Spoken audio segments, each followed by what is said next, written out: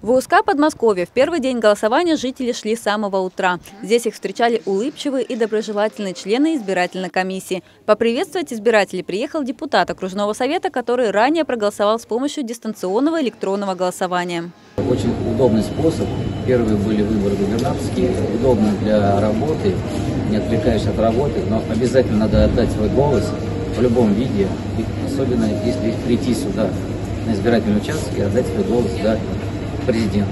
Он должен быть решительным, твердым в своем, стоять на своем, за народ обязательно.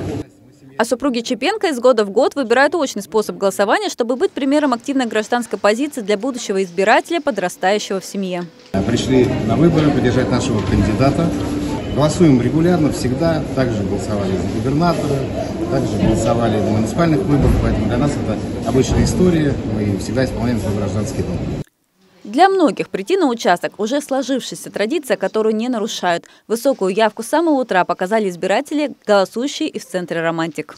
Мы знаем, что уже вторую выборную кампанию существует электронное голосование, но для меня остается доброй традицией подходить на избирательный участок, ставить галочку в бюллетене и опускать ее в урну. С 8 часов у нас идет прям хорошая такая явка людей.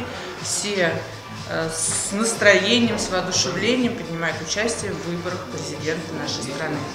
В этом выборе не так важно, как отдан голос – дистанционно или на избирательном участке. Главное, что каждый имеет значение и влияет на будущее развития нашей страны. Виктория Мельник, Щелковское телевидение.